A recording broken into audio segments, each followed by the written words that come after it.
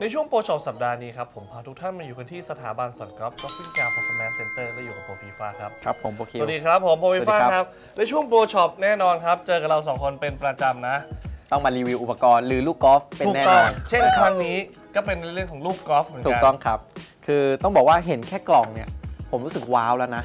ด้วยสีใช่ไหมด้วยสีของกล่องเนี่ยมันอ่าทำให้แบบดึงดูดผมแล้วว่าเฮ้ยมัน อะไรกันครับเนี่ยนะด้วยสียังไม่เท่าไหร่โปรฟีฟ้ามันจะครับมีประโยคนึงอะที่อยู่บนมุมกล่องเนี่ยสิ non conforming นั่นหมายความว่าอะไรครับ คือจริงๆ ถ้าอย่าง driver เนี่ยเราได้ยินคำว่า non conform แปลว่าต้องเป็น driver หน้าเด้งตีไกล ก็คือที่มันผิดกฎอะอะเอามันง่ายๆผิดกฎไม่ถูกกฎอะไม่ถูกกฎแล้วกันอ่าส่วนลูกกอล์ฟเนี่ยต้องบอกอย่างนี้ว่าอาจจะมีมานานแล้วนะ แต่ผมเองเนี่ยเพิ่งจะเคยได้สัมผัสและเพิ่งเพิ่งได้อยู่ในมือผมที่จะได้ลองด้วยตัวเองนี่แหละ ปกติเนี่ยเขาอาจจะพูดในเรื่องของ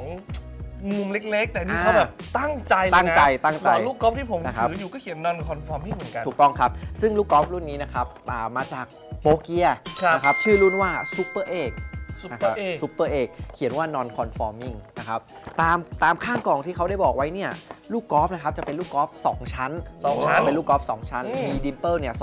272 รอยรอยครับบุ๋มนะครับซึ่งสิ่งที่เขาบอกไว้เนี่ยเขาบอกว่า ถ้านักกอล์ฟได้ลองแล้วนะ จะได้ทั้ง high ball speed ก็คือมี ball speed ที่แรงอ่าสูงขึ้น ก็คือจะตีไกลขึ้นครับมี launch angle ที่สูงขึ้น มุมเหินที่ลอยขึ้นอีกอ่าแล้วก็สปินต่ำสุดโอ้ๆคือต้องบอกว่าทุกอย่างส่งเสริมมาเพื่อตีไกลนะเพราะว่าอย่างไดเวอร์เราก็ได้ยินคำว่า non conform ก็คือตีไกล อันนี้ลูกกอล์ฟ non conform ก็คือตีโคตรไกลเหมือนกันโอ้โหนะคือคือเขาเคลมมาอย่างนี้เลยว่า ยังไงตีตัวนี้เนี่ยระยะขึ้นแน่นอน เพราะว่าได้ ball speed ที่สูง ได้ spin ที่ต่ำแล้วก็ได้มุมเหินที่สูงขึ้นด้วย โอ้โห นะครับ ซึ่งอันนี้เนี่ยผมคิดว่าเดี๋ยวเราจะต้องลองกันเองซะหน่อย ต้องลองครับว่าในการที่บอกว่า launch angle สูงขึ้น ball speed สูงขึ้นหลาย ๆ อย่างครับเนี่ยดีขึ้นแบบโอ้โหแบบเขาว่าอย่างนั้น เขาว่าอย่างนั้นนะ เราต้องลอง ต้องลองนะ และที่สำคัญประเด็นคือต้องดูด้วยว่า อาจจะเหมาะกับบาง speed ด้วยหรือเปล่า นั่นน่ะสิถูกต้องนะครับอาจเพราะฉะนั้นอาจจะสำหรับนักกอล์ฟที่อะอาจจะอาวุโสหน่อยหรือนักกอล์ฟมือ amateur ที่อยากยังไม่ได้มี speed สูงมากนักถูกแต่อยากได้ตัวช่วย ไม่แต่กอล์ฟไม่พอละ ขอลูกกอล์ฟช่วยเลย ถูกต้องแต่ถ้าเกิดวันนี้โปรฟีฟ้าตีแล้วมันเพิ่มขึ้น ครับ จากระยะปกตินะแสดงว่าดีจริง ถูกต้อง ครอบคลุมจักรวาลหมดเลยอันนี้ไม่ว่า speed ไหนก็ตีได้หมด ถูกต้องครับ เพราะฉะนั้นไปเริ่มลองกันเลยครับ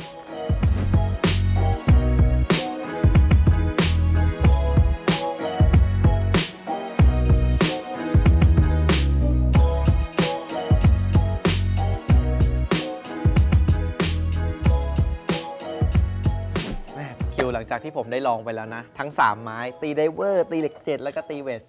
อันดับแรกเลยก่อนไปดูตัวเลข เอาครับ feel ก่อนเลยลูก 2 ชั้น non conforming เนี่ย ครับ เป็นยังไงบ้าง feel สัมผัสในแต่ละอุปกรณ์ ถ้าอยู่เฉยๆ แล้วเราเคาะๆอย่างเงี้ยเสียงมันจะแป๊กเสียงมันบางมันมันเหมือนใช่พลาสติกหรืออะไรสักอย่างนึงอะมันความดูรู้แบสึบกแรกที่ผมจับเนี่ยคือพลาสติกเลยรู้สึกเหมือนพลาสติกอ่าแต่ประเด็นคือตอนที่ตีออกไปแล้วอะครับ ไม่รู้สึกขนาดนั้นนะ feel สัมผัสดีเอออย่างก็นี้เหรตีอไปเออใช้ได้ต้องบอกว่าใช้ได้คืออยู่เฉยๆมันเป็นอย่างเงี้ย แต่พอตีออกไปอ้าวไม่ได้รู้สึกแบบกระด้างมือหรือแบบแป๊กๆอาจจะมีแค่เสียงคือฟิลสัมผัสต้องต้องแยกกันระหว่างฟิลสัมผัสกับเสียงเนาะโอเคฟิลสัมผัสโอเคโอเค แต่เสียงที่ออกไปอะเหมือนตีแชงอยู่ตลอดเวลาเพราะด้วยเสียงมันเนี่ยเสียงออกแต่รายู่แนวเฉโทยนแหลมแหลมๆใช่เหมือนตีใช่แช้งเลเหมือยนตีแช้งแต่คือโดนดีนะๆแต่โดนดีโอเคโดนดีซึ่งตามที่เขาได้เคลมไว้ว่า ball speed สูงขึ้นครับ high launch แล้วก็ครับ low spin เนี่ยเออจริงแฮะผมตี driver อะระยะขึ้นเลย จริง คือคือ ball speed ผมจะอยู่ราวๆประมาณ 150 ปลายปลายๆ160 ต้นโอเคๆแต่ว่าจาก Data ที่เราเห็นตอนเนี้ยผมตี ball speed ขึ้นมาแบบ 160 กลาง ใช่ ใช่ มีร้อย ball speed 166 นะครับ 163 นะ มีระยะที่ขึ้นเนี่ย 200อะ carry 279 มี carry 285 ซึ่งก็ถือว่าไกลกว่าไกลขึ้นกว่าปปกกติติของผมใช่ถูกต้องถือถือว่าไกลขึ้นมาละ และที่สำคัญครับพอเป็นลูกอย่างเงี้ยโปรฟีฟ้าลูกครับสองชั้น แล้วก็เขาบอกว่า non conforming ทุกอย่างเพิ่มหมดโปรฟีฟ้าครับเชื่อไหมผมแบบเป็นเลงอยู่ค่าหนึ่งอืมมุมเหิน launch angle เลย vertical launch เลยว่าสูงไหมมันต้องสูงขึ้นสิมันอืมต้องแบบ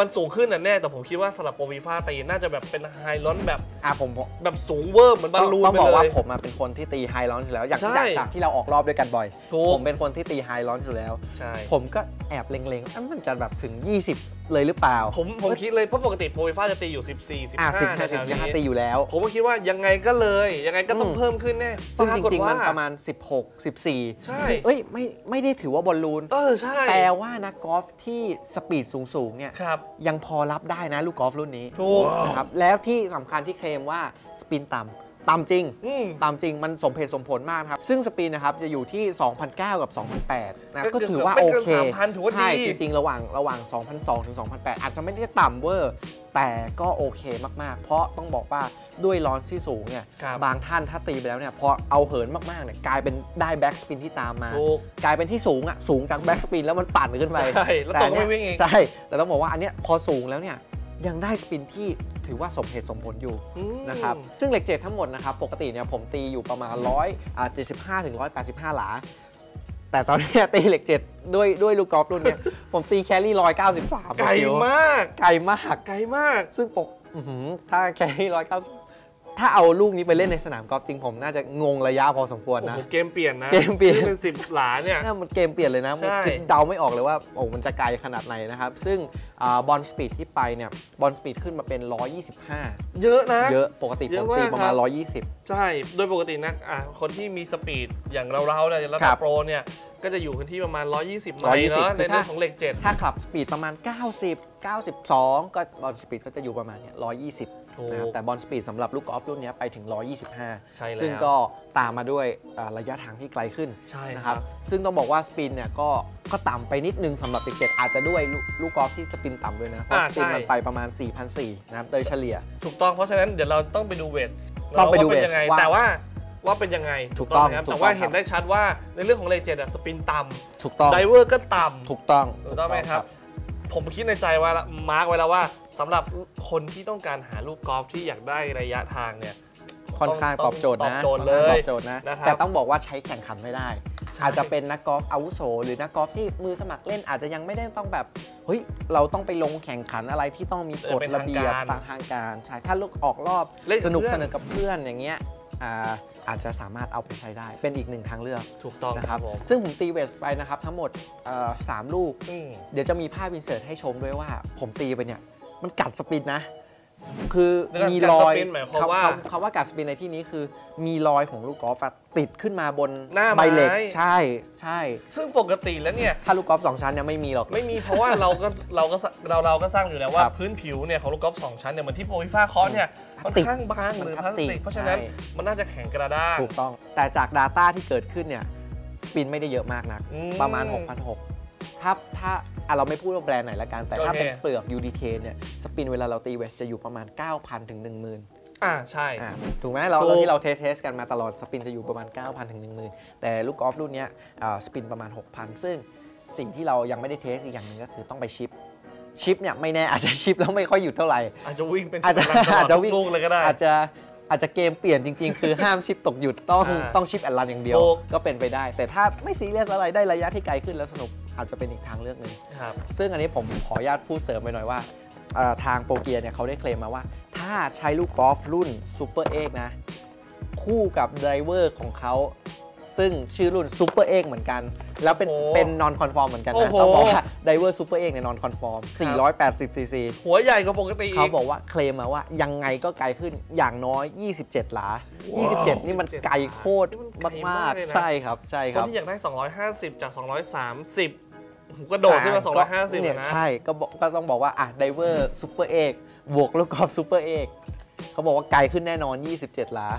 อ้อันเนี้ยเดี๋ยวเราอาจจะต้องหาต้องมาพิสูจน์มาพิสูจน์กันเหมือนกันนะว่า ถ้าเกิดว่ามาคู่กันเป็นแพ็คคู่แล้วเนี่ยจะไกลขึ้นจริงเปล่า ใช่นะครับถูกต้อง แต่เห็นได้ชัดครับว่าลูกกอล์ฟ non conforming ของ Super Egg อันเนี้ยนะครับครับ เหมาะมากครับกับนักกอล์ฟที่ตามหาในเรื่องของระยะทางถูกต้องครับและที่สำคัญวันนี้เราลอง test ด้วย speed ของโปรฟีฟ้าที่ speed ค่อนข้างสูงอืมเห็นได้ชัดว่าค่าที่รู้สึกว่าส่วนตัวผมผมรู้สึกว่ามันน้อยไปก็แค่ spin rate เท่านั้นเองอืมครับนะครับแต่เห็นได้ชัดว่าอย่างตี driver launch angle มุมเหินเนี่ยค่อนข้างโอเคเลยไม่ได้โอเคแบบโอเคเลยนะ เพราะหลาย ๆ แบรนด์ที่เป็นรูป 2 ชั้นเนี่ยจะค่อนข้างบินเป็นบอลลูนเลยถูกต้องครับถูกต้องไหมครับอันนี้ยัง control ได้ด้วยนะครับสำหรับคนที่